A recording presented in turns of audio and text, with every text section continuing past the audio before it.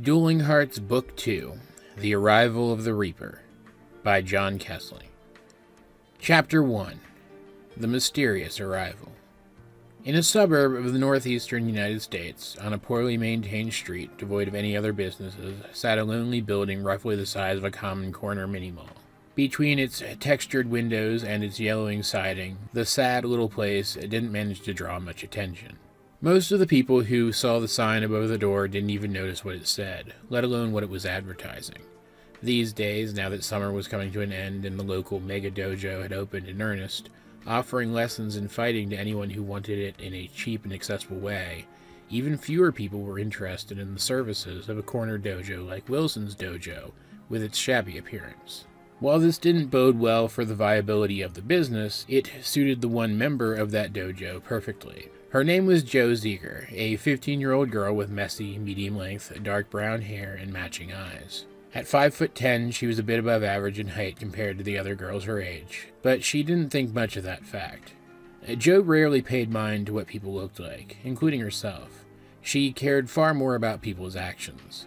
In part because of this, Jo never bothered to dress herself up, her regular attire consisting mostly of shabby t shirts, faded and ripped jeans, and a frayed black overshirt that she had had since she was a kid. This morning, however, Jo was dressed a little differently. She had chosen to forego the jeans and the t shirt and even the shabby overshirt in exchange for a black sports bra, black sweats, and a white tank top that showed off the well defined muscles in her arms whenever she moved. She often wore an outfit such as this when she was working out. In this case, she was trying to get in some early morning training before making her way to a prior engagement. This was not, however, like any kind of typical martial arts training. This was something special. Something that, despite being 30 years old, despite having changed the world, was still mysterious to many people. Joe was not a typical fighter, but a soul fighter, someone trained to use the energy of soul, which practically all people possess, to augment her abilities and to compete in matches called heart to hearts. It was her dream to pursue competitive heart to hearts as a career one day. Add to that the fact that Joe was a naturally competitive person anyway, and it wasn't surprising that she typically found time each day to train herself to use her soul more effectively. Joe stood inside Wilson's dojo at one end of the spacious area used for lessons, facing the far end of the room where six training mats were propped up against the wall, measuring in total about 24 inches thick. Between Joe and the mats stood three foam torsos made from proprietary materials that dissipated most of whatever energy was applied to them. Each torso was wearing a thick padded vest that covered its chest and abdomen, made of that same material, protecting it further. From her place at the other end of the room, Joe prepared to attack the foam torso at the back, not with her fists or her feet, but with Soul itself. And she planned to go through the other two to do it. In preparation, she felt for the wild and chaotic sensation of her unique shadow soul within her, as well as the warm sensation of her life energy deep within her core, and she willed those energies to mix. The experience was intense and uncomfortable, and Jo had to struggle not to lose control and injure herself should the energies either increase too much or spring violently back apart. Mixing the two energies caused them to amplify one another, and Jo was able to seize hold of the new soul that was generated, wrapping herself in it. Miniature bolts of lightning lanced off of her body as that soul wrapped her up and turned into a churning aura of purple and black light, shaking the floor beneath her with its very presence. The entire process took only a fraction of a second. It was far from the most impressive aura that Joe had ever produced, but she'd never been able to make one so quickly before, and she wasn't finished yet. Just as the aura finished forming around her, Joe lifted her arms, holding her hands out in front of her, palms forward. Soul crackled its way down her arms and collected just beyond her palms, forming a swirling orb of pure soul that was roughly the size of a softball. It crackled with power, causing the air throughout the entire building to churn violently. Without hesitating, Jo drew back her hand, wound up, and made a throwing motion. The ball of soul followed the gesture, behaving as if it had been thrown. It spiraled toward the foam torso as fast as a bolt of lightning. When it struck its target, it bore through the vests and the foam torsos themselves and carried through, digging into the mats stacked behind them. It continued to bore deeper and deeper into the mats, but as it did, its rotation slowed and the orb itself became smaller and smaller until, finally, just before it would have come through the other side, it dissipated completely. Joe exhaled slowly, allowing her extra soul to dissipate just as the attack had. Her aura stopped churning so chaotically and then disappeared completely as Joe looked over all that she had accomplished. It wasn't bad for the weakest iteration of the attack that she could produce. Joe heard footsteps behind her, and a moment later, an elderly man in thick, horn rimmed glasses emerged from an adjoining room. This was the Wilson of Wilson's dojo. That was rather impressive, Miss Seeger, he told his only student. You have managed to cut the time that it takes to manifest your soul breaker down by two thirds. Joe, however, wasn't nearly as proud of what she'd managed to do. Frowning, she said, Yeah, but I still can't produce enough soul to make it at all without creating my aura first, and making an aura telegraphs that I plan to attack. Progress is still progress, Wilson asserted, and you must keep in mind that manifesting such a concentrated bolt of soul at your age, or at all, really, is impressive, regardless of how you have to go about it. Joe didn't say anything to that. She understood that Wilson was right, but she couldn't bring herself to admit it out loud. She wasn't thinking about her own growth as a fighter, at least not exclusively. Her mind was still, at least in part, where it had been for the last two months, ever since three extremely powerful and gifted soul fighters had come to town to challenge Joe and her friends to a death match in the name of their organization, the Soul Takers. Since they had last seen Karen, Monty, and Lawrence, Joe and her team, the Dueling Hearts, hadn't come under any danger, and yet Joe was still worried every day that they would return and challenge the Dueling Hearts for their souls a second time. Joe's friends were, finally, beginning to feel differently than Joe. Even Joe's best friend Tucker, who had been the most wary of the Soul Takers and their promise not to return, was starting to admit that it really didn't seem like they planned to go back on their word. Joe didn't really understand it. When Karen and her allies had gone, Joe had vouched for them. Why, now, was she beginning to doubt them? She simply couldn't articulate the answer. No, Joe thought, that isn't entirely true. Whenever she thought about it, Joe still trusted Karen, as unreasonable as it was. She had feelings for Karen, feelings that she hadn't quite come to terms with yet. A part of Joe was convinced that she only trusted Karen because of her feelings, and so she was overcompensating, going against her gut and forcing herself to remain wary. She acknowledged that, and yet she still felt that she had to pay her suspicions mind. She still felt that she had to prepare.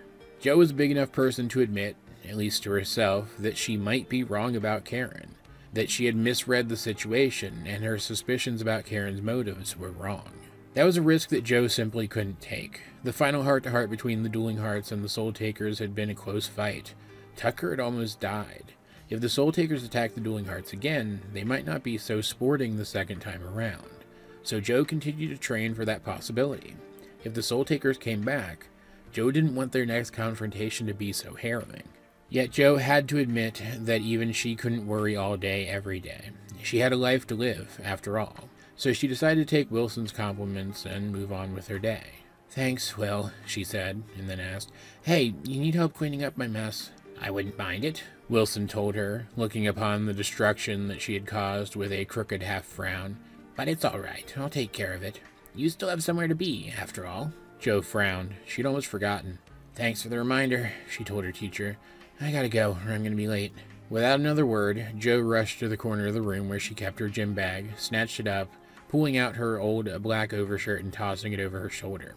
Then, suddenly, she seemed to flicker out of existence, replaced by a streak of black and purple static. At the same moment, the front door of the dojo was thrown wide open, seemingly by nothing. None of this surprised Wilson. He had seen Joe use her shadow step enough times now that he expected it. Joe reappeared outside. Even as she appeared, she straightened her shabby overshirt, which had shifted into its proper place even as she moved. Then she disappeared again and didn't reappear anywhere close by. Now that she was outside, and therefore had access to more deep, direct shadows than just her own, Joe could shadow step further, faster, and with less effort. Each time she passed into a new shadow, she flickered again, moving so quickly that even trained soul fighters would have had trouble keeping track of her. She could shadow step in any direction, but it was easier and she was able to shadow step further if she moved along a shadow's path, and so that's what she tried to do whenever she could. Doing so, she was able to cover several miles in just a few minutes. Joe finally flickered back into view in the middle of a worn back street. The pavement was riddled with potholes, and of the nearly one dozen small dilapidated houses lining it, nearly half of them were very obviously abandoned. Joe looked at one of the better kept houses and she waited. She frowned when she heard yelling from inside, followed by a crash of breaking glass or ceramic. The front door swung open, and Joe's friend Tucker emerged, dressed in his own shabby workout clothes, his own bag draped over his shoulder. Yeah, yeah, Tucker said under his breath. Screw you two. Your dad giving you crap again? Joe inquired. When is he not? Tucker replied, frowning right back at her. He stopped next to Joe, showing off just how much taller he was than her, his spiked, fire red hair beginning a full six inches above her head. He let out a deep sigh and smiled. It's fine, whatever. It's not like the jerk could hurt me, even if he wanted to. Joe had to admit that she couldn't argue with his logic. Anyway, Tucker said cheerfully, we have somewhere to be.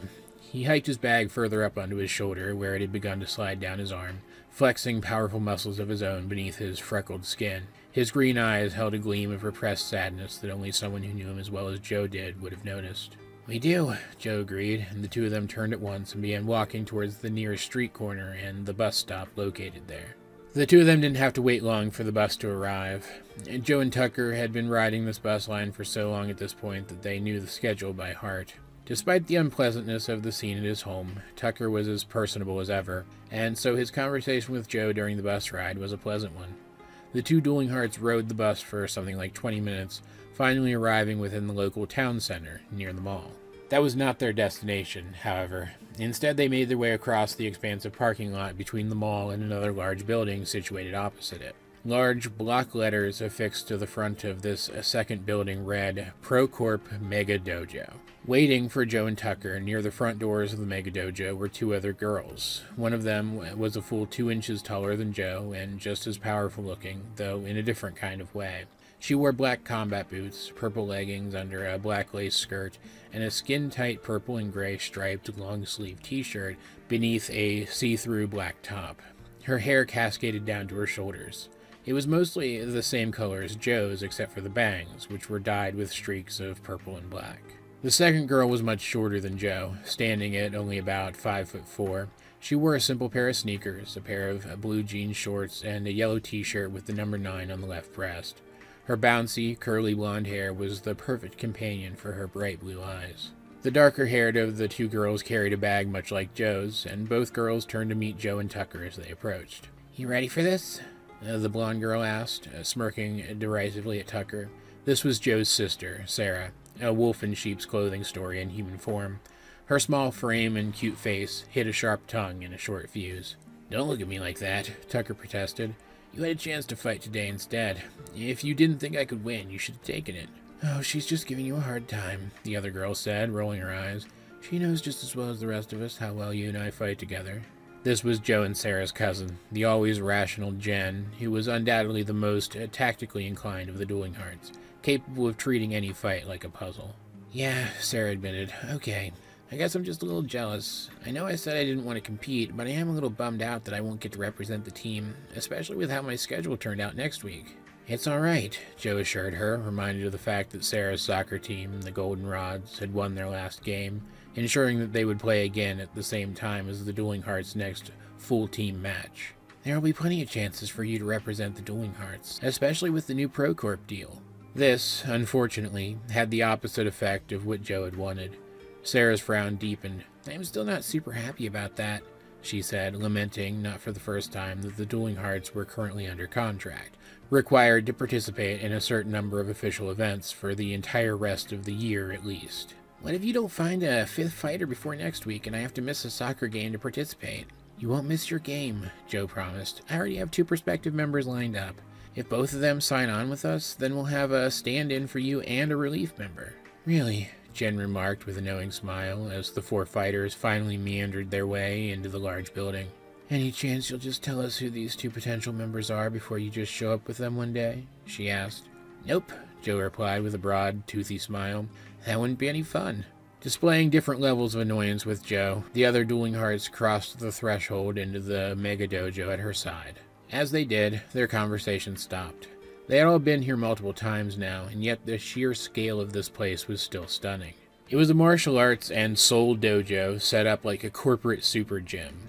To the right of the main entrance was a long, curved desk, staffed by pretty people ready to jump upon any prospective members and sell them the dream. Dance Dance Revolution esque platforms, which promised to measure a person's soul, stood against the wall to the left, despite the fact that they didn't do what they promised nearly as well as a decent soul fighter could on their own.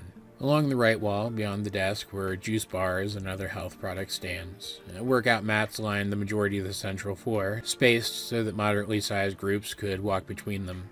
None of this, however, was of any relevance to the dueling hearts today. They were here for the Mega Dojo's main attraction. The back third of the central floor was dominated by one thing a huge arena, large enough for several people to fight on it at once, surrounded on three sides by arena style seating. The fourth side of the arena, the one nearest the center of the room, was lined with circular tables on a raised platform, ringed with comfortable padded chairs. The changing rooms for members were to the left and the right of the seats along the back wall. This was the central feature of the Mega Dojo, and dozens of others just like it that would be open soon across the country. It was because of this arena that the famous tech giant Prometheus Corporation had built the Mega Dojo to begin with. It was state of the art, designed to make heart to heart safe to observe by turning the energy produced during heart to heart into a barrier, capable of blocking stray soul from reaching the spectators. Do we know who we're fighting yet? Tucker asked Jen as he watched dozens of people file into the stands. Yeah, she replied. A couple of guys from a team called Team Haymaker. Never heard of them, Tucker said with a lopsided frown. Me neither, Jen agreed, but that doesn't mean we should take them lightly. Tucker rolled his eyes, but Jen ignored him, adding, I need to change. I'll be right out. Tucker walked with his hands in his pockets up to one of the four marked squares along the right side of the arena. Four identical squares were marked on the opposite side. Meanwhile, Joe and Sarah bought drinks, found a table with a good view of the arena, and they waited. Finally, after another several minutes, as the start of the doubles match drew near, people stopped piling into the stands. Jen came back out of the locker rooms, having exchanged her undershirt for a tank top and her boots for sneakers, and stood next to Tucker. A fit Latino man, who Joe knew as Eric, walked over to stand next to the referee's platform, which would rise up to the height of the arena shortly. Things seemed ready for the fight to begin, and yet the time for the start of the match came and then passed without anything happening. Joe and Sarah looked around, confused, and noticed the reason. Jen and Tucker were present on their side of the arena, but their opponents were not. Joe frowned. The spectators were beginning to murmur in confusion and frustration. Joe looked at Eric. He was talking frantically to one of the pretty women from the front desk. Finally, their conversation came to an abrupt end, and Eric forced a smile onto his face. He stepped up onto the referee platform, and it rose up into position. Distinguished spectators, he began pleasantly, it seems that we have a situation on our hands. As you can see, the two fighters from Team Haymaker have yet to arrive, and now it would seem that a note has been found at the front desk indicating that they have conceded this match to Jen and Tucker of Team Dueling Hearts. The murmurs of the crowd heightened, but Eric talked over them, quieting them. I apologize. I know that you were looking forward to seeing a heart to heart, but there's nothing we can do except call this match in favor of Team Dueling Hearts. He seemed like he had more to say, but this time it was the crowd that drowned him out. That's when Tucker decided to act. Whoa, he said as loudly as he could, leaping high up onto the arena floor, walking to the center and standing there beneath the bright, overhead stadium lights. Whoa, guys, calm down. You guys want to see a heart to heart? The spectators voiced their unanimous agreement. All right then, Tucker continued, and Joe knew immediately where he was going with this. There are other soul fighters here. Instead of these haymaker dudes, me and Jen will take a challenge from somebody else. The crowd seemed excited by the prospect, and Eric was quick to voice his approval. So Joe looked to Sarah. She could tell that her sister was thinking the same thing she was. They both made the stand and volunteer themselves, but to their surprise, and to the surprise of everyone else in the arena area, they were beaten to the punch. I'll fight the two of you, came a voice from somewhere behind Tucker. The voice didn't sound loud enough to carry far, especially not over the sound of the excited spectators, yet it cut right through them like a 1,000 degree knife. The entire stands, full of noisy spectators, grew immediately silent. Tucker turned slowly to look across the arena at the source of the voice, and there stood a scrawny looking young man wearing a dark hoodie. He had the hood up, casting a shadow over his face. The mysterious challenger didn't look all too threatening, and yet Joe got a strange feeling from him. She wanted to protest the challenge, but she couldn't articulate why, and it wasn't as if Jen and Tucker couldn't take care of themselves anyway, so she said nothing. Jen jumped up onto the arena with Tucker and looked the hooded young man over carefully. Okay, she said. Sure, if you really want to take both of us on, I guess Tucker can go first. If you beat him, then I'll fight. No, the young man interrupted. I want to fight both of you at once. Don't worry, he reassured them when he saw them exchange a concerned look. I know what I'm doing. I promise that as soon as I feel overwhelmed, I'll tap out. Something still felt off to Joe despite the young man's reassurances, but if Tucker felt it too, he chose to ignore it. He turned to Jen and shrugged, and she gave him a look that said, Okay, why not? The two of them turned to face their new opponent properly. As energy began to build between them, filling the air, signaling that the heart to heart was about to start, a sudden, palpable cold spread throughout the room for just a moment, causing Joe to shudder. Joe couldn't be sure, but she got the impression that the sensation had come from the hooded young man. Her suspicions were confirmed when Eric announced the start of the heart to heart, and the young man shifted his head. A sliver of light passed over his mouth, and even from her place at the table more than thirty feet away, Joe could see his wide, cold smile. That same supernatural chill rolled off of him, carried upon a visible wave of crackling soul, and every one of the arena lights burned out all at once. At the same moment, the hooded young man seemed to disappear.